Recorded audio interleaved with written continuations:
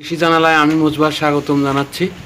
আপনাদের আজকে দেখানো হবে ভুট্টার জমিতে দ্বিতীয় কিস্তিতে কি পরিমাণ সার প্রয়োগ করা হয়। ভুট্টার যখন পনেরো দিন বয়স হবে, তখন সার প্রয়োগ পদ্ধতিটা আপনাদের দেখানো হবে। এটা মূলত চার বিঘা জমিতে বিঘা প্রতি ছাব্বিশ কেজি ইউরিয়া প্রয়োগ করা হচ্ছে এবং সাথে দানাদার বিষ দেওয়া হচ্ছে। কার্বোফুরান গ্রুপের দানাদার বিষ বিঘা প্রতি তিন কেজি হারে প্রয়োগ করা হচ্ছে। এখন মিক্স সিং প্রক্রিয়াটা আপনাদের দেখানো হবে।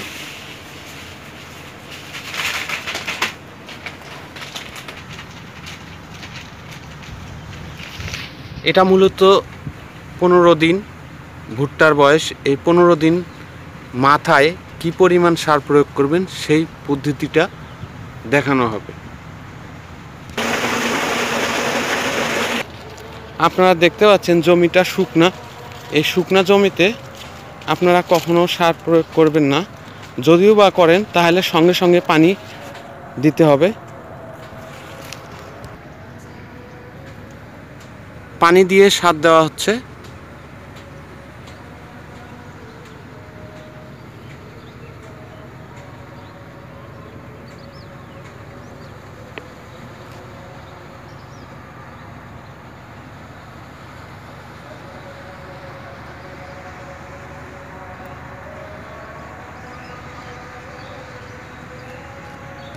ফিতা পাইপের মাধ্যমে পানি দেওয়া হচ্ছে।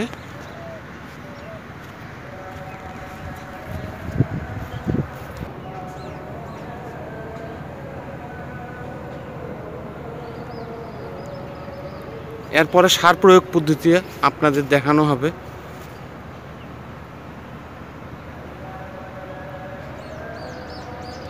যেহেতু এখন দর্শক শুকনো মৌসুম, সেক্ষেত্রে ভুট্টার জমি ব্যাপকভাবে পানির প্রয়োজন হয়, সেক্ষেত্রে ঢালা পানি দিবেন মোটরের মাধ্যমে বা সেলো মেশিনের মাধ্যমে। এরপর আপনারা সার প্রয়োগ করবেন।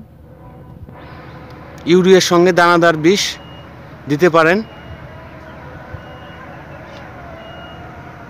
এবং ফসফেট ব্যবহার করতে পারেন। সেক্ষেত্রে আরও ভালো হবে।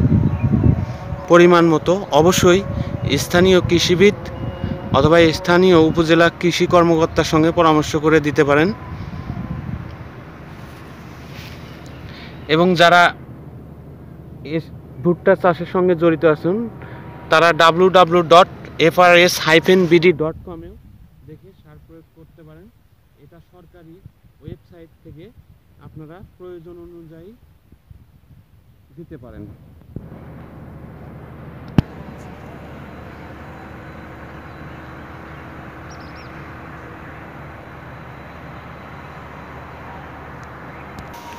সার এইভাবে মিক্স করবেন।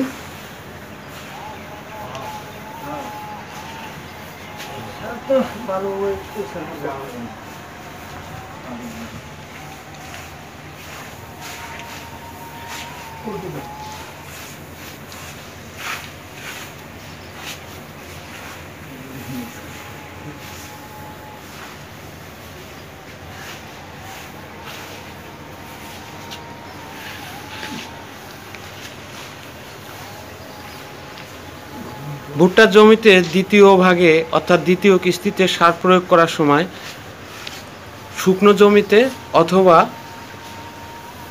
পানি দেওয়ার পরে আপনারা সার প্রয়োগ করতে পারেন, দুইভাবেই করতে পারেন। অথবা জমিতে আগাছা থাকলে আগাছা পরিষ্কার করে দিতে পারেন। এতে সবচাইতে ভালো হয়।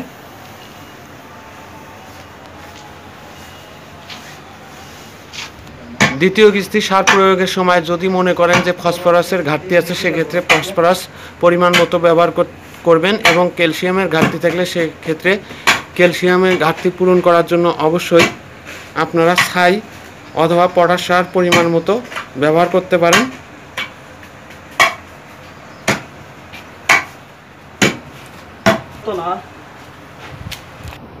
যেহেতু ভুট্টা লাগানোর সময় সব ধরনের সার দিয়ে ভুট্টা কাল্টিভেশন করা হয়েছে, সেক্ষেত্রে পনেরো দিনের মাথায় আপনার শুধু ইউরিয়া সার, পানি দেওয়ার পরে বা পানি দেওয়ার আগে প্রয়োগ করবেন।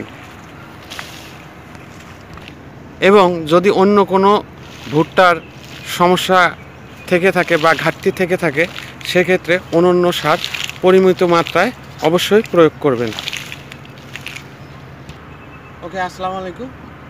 বন্ধুরা বা দর্শক বন দর্শকবৃন্দু, আপনাদের দেখানো হলো ভুট্টার দ্বিতীয় কিস্তিতে সারের পরিমাণ, কি পরিমাণে সার প্রয়োগ করা যায় সেই পদ্ধতিটা এবং যদি আপনাদের ভুট্টার জমিতে ইউরিয়া সার বাদে দ্বিতীয় কিস্তিতে যদি ডিএপি বা এমওপি সারের ঘাটতি থাকে বা দানাদার বেশি প্রয়োজন হয় সে সম্পর্কেও বলা আছে।